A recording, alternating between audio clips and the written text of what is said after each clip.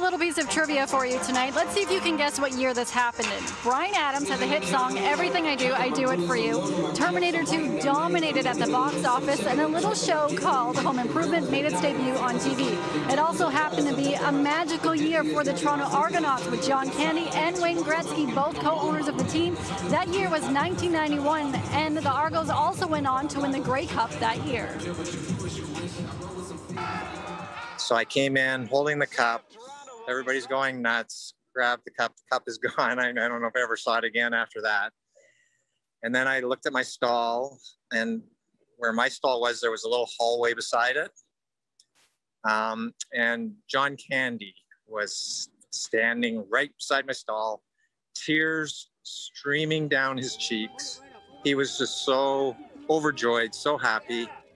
And we did that big man hug thing, and that was a big man hug thing. And and it was it was it was a, an amazing memory. Don Moen won two Grey Cups with the Toronto Argonauts back in 1983 and 1991.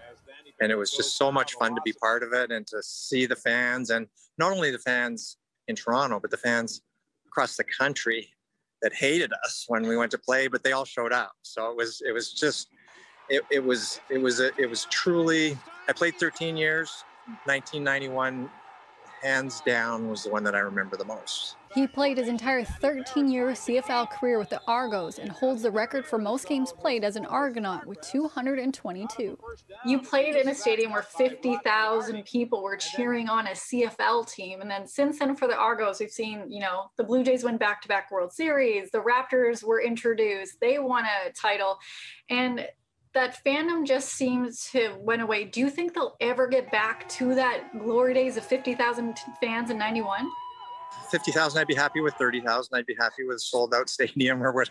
But, but I, I actually believe that it can happen. It's, it's a tough market. There's a lot of work that needs to be done, but there are a lot of CFL fans there. And I think Pinball now being uh, responsible for that, you're going to start to see some, some real improvements, but it's, it's, it's tough work and it's, you have to be patient, but it can definitely, definitely be done. To celebrate the 30th anniversary of that special win, the Argos are handing out this special vintage-inspired 1991 championship sweater to the first 2,000 fans that come to the game tonight when they host the Redblacks.